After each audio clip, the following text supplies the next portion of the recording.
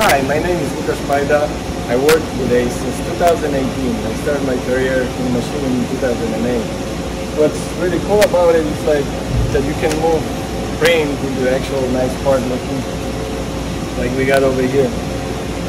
So there's nothing better that you can turn your hobby into career. I really enjoy to work for ACE.